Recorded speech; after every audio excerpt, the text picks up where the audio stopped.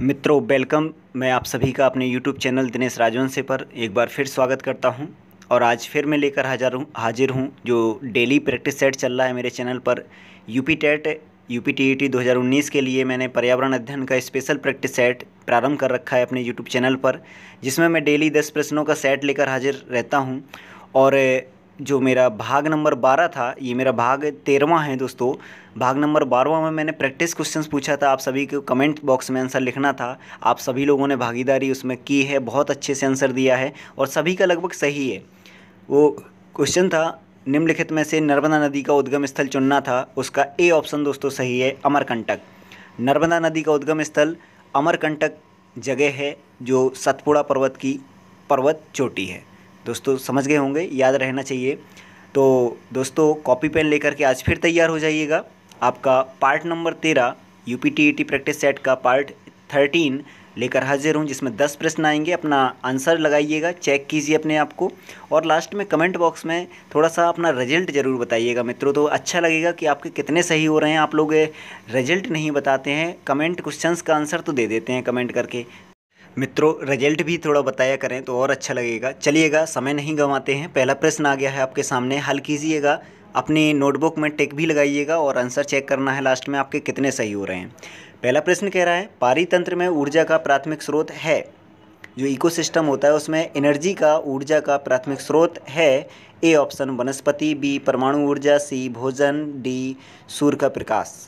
दोस्तों, अपना टिक कर लिया होगा आंसर तो मैं बता रहा हूँ इसका सही आंसर है पहले प्रश्न का डी ऑप्शन। सूर्य का प्रकाश या सनलाइट जो है सोलर एनर्जी वो इकोसिस्टम के लिए प्राथमिक ऊर्जा या प्राथमिक स्रोत का कार्य करती है। ओके दोस्तों? मित्रों, समझ गए होंगे पहले प्रश्न का आंसर। सूर्य का प्रकाश है, किसी भी इकोसिस्टम के लिए प्राथमिक स्रोत है सन एनर्जी दूसरा क्वेश्चन आपके सामने है, विंध्यांचल और सतपुड़ा पर्वत के मध्य कौन सी नदी प्रवाहित होती है?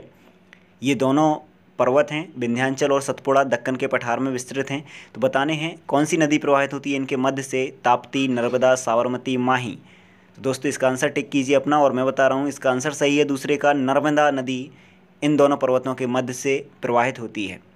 और दोस्तों, और नोट कर लीजिए, माही, साबरमती, ताप्ती और नर्मदा, ये चारों खंभात की खाड़ी में अपना मुहाना बनाती हैं मीन्स पानी डालती हैं। और ये दो नदियाँ हैं जो नर्मदा और ताप्ती, ये दोनों नदियाँ पूरी तरह से पूर्व से पश्चिम दिशा में बहकर खम्भात की खाड़ी में पहुँचती हैं और ये एस्चुरी बनाती हैं, डेल्टा नहीं बनाती, एस्चुरी बनाती हैं। ओके दोस्तों, तीसरा प्रश्न आपके सामने आ चुका है।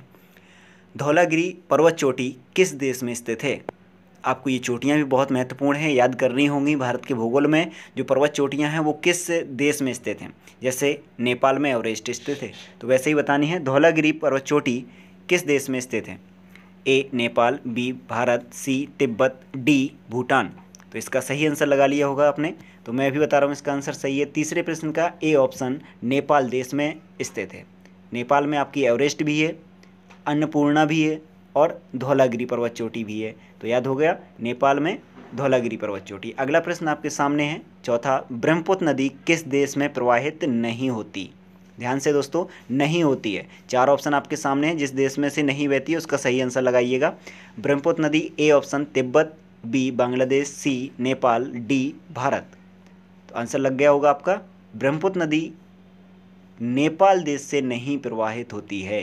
तिब्बत से मानसरोवर झील के पास से निकल करके फिर आती है अरुणाचल प्रदेश असम तो भारत में आ जाती है, फिर जाती है बांग्लादेश में, जिसका नाम हो जाता है जमुना। फिर गंगा पर मिलने के बाद होता है मेघना। तो दोस्तों, ये थोड़ा सा नाम याद भी रखने हैं। पाँचवा प्रश्न आपके सामने। निम्नलिखित देशों में से सर्वाधिक जैव विविधता किस देश में पाई जाती है? आपको बतानी है, चार देश हैं और उसमें से बायोडाइवर्सिटी, जैव विविधता किस देश में सर्वाधिक पाई जाती है? A option Canada, B option चीन, C option Brazil, D option Australia. चार ऑप्शन आपके सामने हैं। ध्यान से देखिएगा, सर्वाधिक जैव विविधता कहाँ पाई जाती है? भूमध्य रेखा के पास। तो देख लीजिए, चार ऑप्शन में से कौन सा देश भूमध्य रेखा के पास है?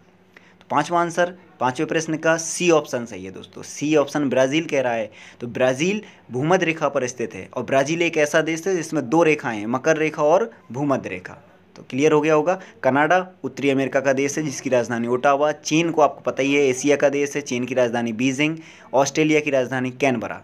तो ऑस्ट्रेलिया महाद्वीप में स्थित है। छठवां क्वेश्चन छः भारत का सुदूर दक्षिणतम बिंदु। याद रखिएगा दोस्तों, क्वेश्चन ध्यान से।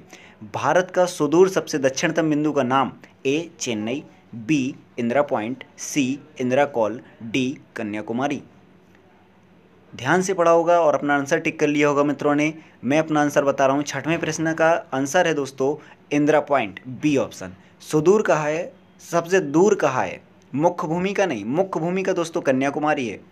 ओके दोस्तों कन्याकुमारी भारत की मुख्य भूमि का दक्षिणतम बिंदु, जबकि सुदूर और सबसे दूर कहें तो इंदिरा पॉइंट, जो अंडमान निकोबार के द्वीप समूहों में स्थित है। इंदिरा पॉइंट, इंदिरा कॉल सबसे उत्तरी पॉइंट है, आपका जम्मू कश्मीर में स्थित है और तमिलनाडु की राजधानी चेन्नई है, मालूम होगा। सातवां प्रश्न आपके सामने है। भारतीय संविधान में नागरिकता किस भाग में उल्लिखित है? तो दोस्तों, समझ गए होंगे, भारतीय संविधान में जो सिटीजनशिप है, वो किस भाग में उल्लिखित है? ए ऑप्शन भाग दो बी ऑप्शन भाग एक, सी ऑप्शन भाग तीन, डी ऑप्शन भाग चार। अपना आंसर टिक कीजिए जल्दी से।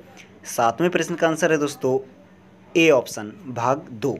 भाग दो में आपकी नागरिकता, सिटीजनशिप है, जो भारत में एकल नागरिकता का प्रावधान है, वो भाग दो संविधान में उल्लिखित है। संविधान में भाग कितने हैं? बाईस। टोटल भाग हैं? बाईस हैं। ओके दोस्तों, अगला आठवां प्रश्न। विश्व में सर्वाधिक अम्लीय वर्षा, एसिड रेन किस देश में होती है? निम्नलिखित चार देश दिए गए उसमें से चुनना है सबसे अधिक अम्लीय वर्षा किस देश में? A option Argentina, B option चीन, C option France, D option Norway. सर्वाधिक एसिड रेन दोस्तों, डी ऑप्शन सही है नॉर्वे। नॉर्वे की राजधानी ओस्लो। तो नॉर्वे में होती है सर्वाधिक अम्लीय वर्षा विश्व में। ओके दोस्तों, फ्रांस की राजधानी पेरिस है, चीन की राजधानी बीजिंग आपको बता ही चुके हैं, अर्जेंटीना की राजधानी ब्यूनस आयर्स है। अर्जेंटीना दक्षिण अमेरिका का एक देश है, जिसमें पंपास घास पाई जाती है दोस्तों, याद रखना। ओके दोस्तों, नौवा प्रश्न आपके सामने। यूरोप की सबसे ऊँची चोटी माउंट एल्ब्रोस किस पर्वत श्रेणी में स्थित है? यूरोप है जो उस महाद्वीप की सबसे ऊँची चोटी माउंट एल्ब्रोस है, जो किस पर्वत में स्थित है? ए, आल्प्स, बी प्रेनीज पर्वत, सी, काकेसस पर्वत, डी, ब्लैक फॉरेस्ट। दोस्तों, अपना आंसर टिक कीजिए। नौवें प्रश्न का आंसर है काकेसस। जो काकेसस पर्वत है, यूरोप और एशिया के बॉर्डर पर स्थित है। काकेसस राज्यों में देश हैं, जॉर्जिया, आर्मेनिया, अजरबैजान। ये तीन देश काकेसस स्टेट कहलाते हैं, काकेसस पर्वत में स्थित है। आल्पस पर्वत इटली के उत्तर में स्विट्जरलैंड जैसे देशों में विस्तृत है। स्विट्जरलैंड में सर्वाधिक विस्तार है। प्रेनीज पर्वत फ्रांस और स्पेन के मध्य ब्लैक फॉरेस्ट जर्मनी का है। तो इसका आंसर समझ गए होंगे, एल्ब्रस चोटी काकेसस में है। दसवां प्रश्न, बेंगुला की जलधारा की प्रकृति है जो बेंगुला की जलधारा है, उसकी प्रकृति बताना है। ठंडी है, गर्म है सी ऑप्शन गर्म और ठंडी है डी ऑप्शन कोई नहीं। तो बेंगुला की जलधारा कहाँ प्रवाहित होती है? पहले तो ये दिमाग में लगाइए, अफ्रीका के दक्षिण पश्चिम समझ गए दोस्तों? अफ्रीका महाद्वीप के दक्षिण पश्चिम बहती है, गिनी की खाड़ी के पास। तो ये बेंगुला की जलधारा ठंडी है। कैसी है? ठंडी है, क्योंकि ये ध्रुवों से भूमध्य रेखा की ओर जा रही है। ओके दोस्तों, समझ गए होंगे? बेंगुला की जलधारा ठंडी है। दोस्तों थोड़ा सा और याद रखें गल्फ स्ट्रीम गलम, गर्म जलधारा है। फॉकलैंड जलधारा ठंडी है कनारी की जलधारा ठंडी है। ओके दोस्तों नोट कर लिया होगा। अपना रिज़ल्ट बताइएगा जल्दी से, क्या हुआ है, दस में से कितने सही हैं। दोस्तों, अगर वीडियो पसंद आए तो लाइक करना शेयर करना और सब्सक्राइब करना, चैनल को मत भूलिएगा। अगर चैनल पर आप नए हैं तो ओके दोस्तों, बेल आइकन को भी दबा लेना जिससे आपको नोटिफिकेशन जल्दी मिले।